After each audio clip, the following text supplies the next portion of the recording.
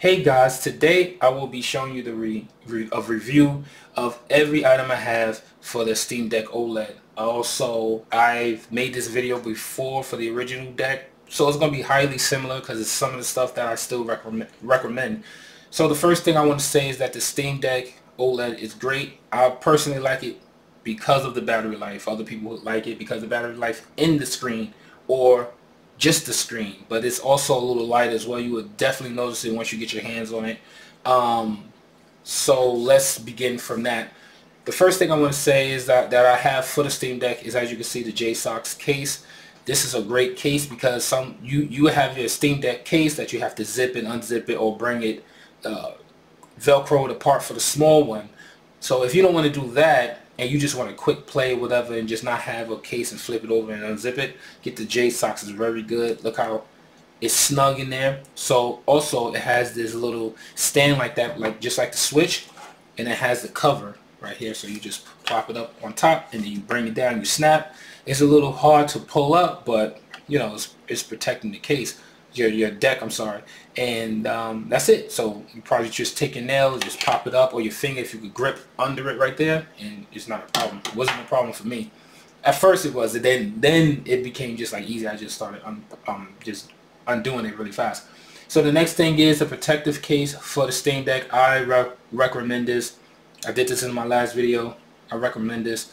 Um, so I'm just gonna go tell you they have like pretty much to cover your deck. They have the back buttons uh, cover. They have the um, the touch pad covers. They have the 3.5 millimeter jack cover. They have the charger cover. I don't know why would you want to put the cover on the charger cover because you need to charge it. And then they have um, the vent covers in the front and the back. So that pretty much covered the, anything that's trying to get inside the Steam Deck like a little creature or something like that. So that's cool. So as you can see like that is the vent in the, up on top and then you see the mesh vents in the back. And uh, as you can see the touch pads, they only have these in black so far that I saw. It could, it could change, you know, probably past this video it could change. But I had to order a different color. Um, I'll put the I'll put everything in the link description that I got on, on, on Amazon or the store that I purchased everything from.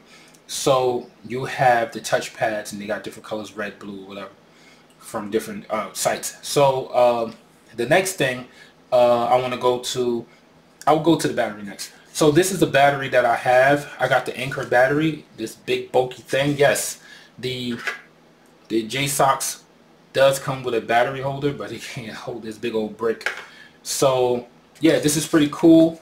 Um, this will have your your your deck at least about six to eight hours on a full charge because this already has, depending on the game you're playing, it already has great battery life. So that would just up it to about six hours. I've used it.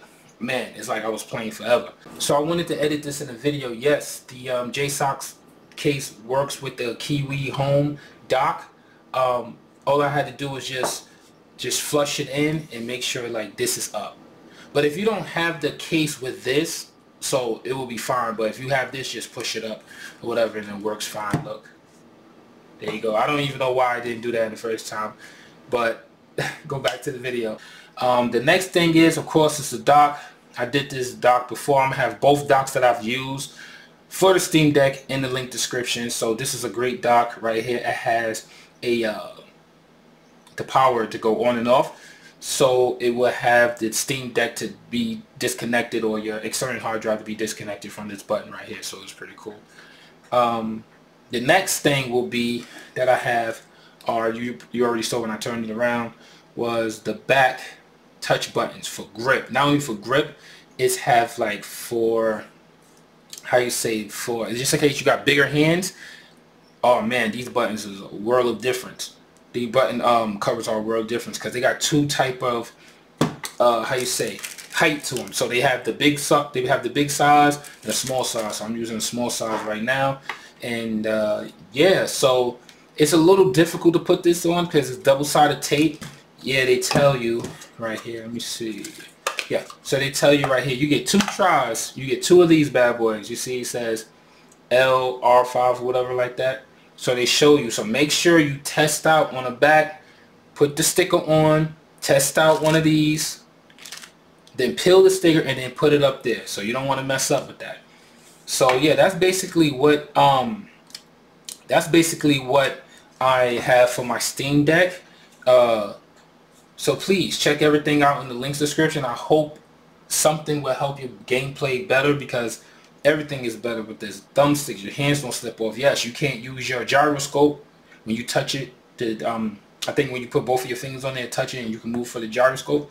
You can't, but uh, that sucks if that's if you're a gyro a gyro control player, which I am not. I'm regular traditional thumbsticks.